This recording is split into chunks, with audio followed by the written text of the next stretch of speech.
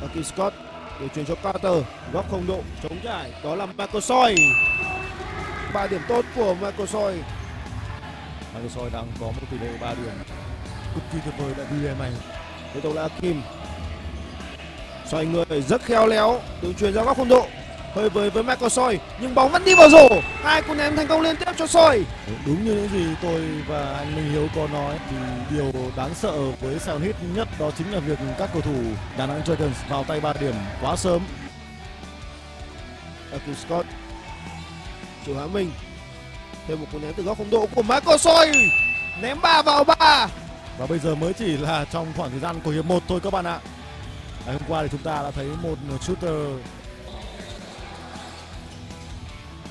Tập còn Bracy góc không độ chống trả dành cho Anthony Sumbeck và đó là cú ném 3 điểm thành công đầu tiên của Saigon Heat. Và Schumberg đã làm được điều mà ông Matt Van Pelt và những người đồng đội mình đang rất khao khát đó là một tình huống 3 điểm. Anthony Sumbeck bị Mai Phước Thịnh close out nhưng Sumbeck vẫn có cú ném 3 điểm thành công thứ hai trong trận đấu hôm nay. Tiếp tục là Daquan Bracy, Anthony Sumbeck chống trải ở góc không độ. Sumbeck đang rất cháy. Và những gì mà ông Matt Van Pelt dặn dò những học trò của mình trong khoảng thời gian hội ý vừa qua đang vận hành một cách rất chính xác. Daquan Bracy điều chuyển cho Sumbeck. Anthony Sumbeck lên rổ như chỗ không người. Và hiện tại thì cầu thủ mang áo số 10 của Sở Thích đang là cầu thủ có nhiều điểm nhất cho đội bóng áo trắng với con số 11.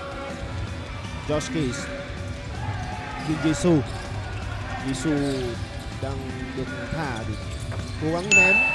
Nhưng bóng tới tay của Sumbek và Sài Gòn Hit có thêm điểm số của cầu thủ mang hai dòng máu Việt Nam và Thụy Điển. Có một phần lỡ chơi, thì Michael Trương không thể làm gì hơn bằng một cú nhảy lên cho có một chút uy lực.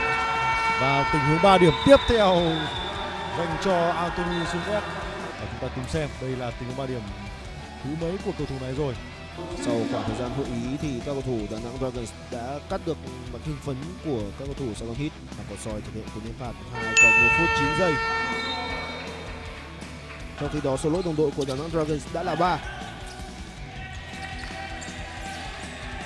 Marco Soi một cú deep three của Marco Soi cú ném 3 điểm thành công đầu tiên của Marco Soi kể từ hiệp 2 cho tới bây giờ.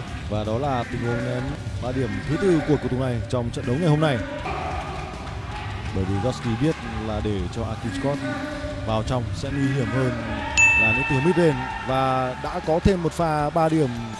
Đà Nẵng Dragons đang phóng zone defense.